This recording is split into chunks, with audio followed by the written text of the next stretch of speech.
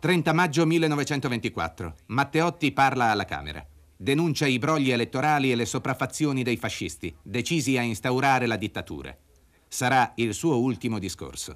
Ecco l'inedita testimonianza di Giorgio Amendola, presente per caso proprio quel giorno nella tribuna del pubblico.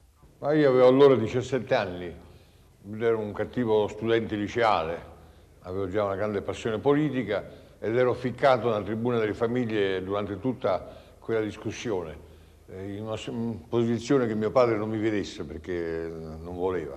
Quindi sono, ho ascoltato il discorso di Matteotti del 30 maggio, discorso pronunciato da Matteotti in mezzo a una mh, mm, continua, tumultuosa ostilità che arrivava a forme aggressive, volgari, e a questa mh, mm, violenza esercitata eh, contro Matteotti partecipava direttamente anche Mussolini che interruppe più volte e Matteotti continuò con coraggio il suo discorso, eh, con calma, eh, accerchiato, quasi protetto dalla pattuglia dell'opposizione.